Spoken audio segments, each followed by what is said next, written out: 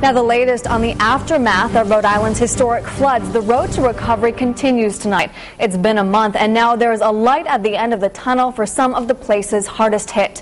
It's hard to forget this scene as flood waters rose several feet up the side of the building, leaving the inside of the Warwick Mall a mess. And now we're learning more about when the mall may reopen for business. Eyewitness News reporter Stephen Schuler joins us now with the latest from the mobile newsroom. The mall's managing partner tells us he hopes to have some stores back up and running by August, and when customers return, he says it will look like a brand new Warwick Mall.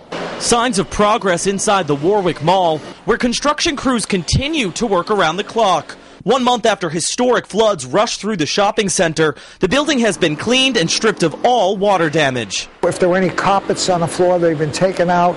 Uh, the walls will be redone.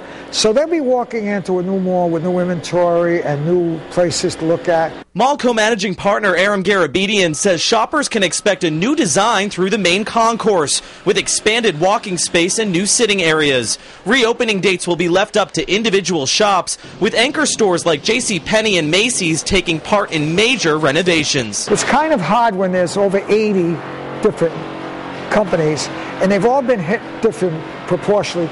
Everything has uh, been done in front so people can start working inside their stores. Some will probably end up with some new storefronts. Hundreds of mall employees remain out of work on temporary unemployment as the cleanup continues. For them and shoppers missing their favorite stores, Garabedian promises the wait will be worth it. Our business, which is part of our life, was totally flooded out, and we're coming back strong.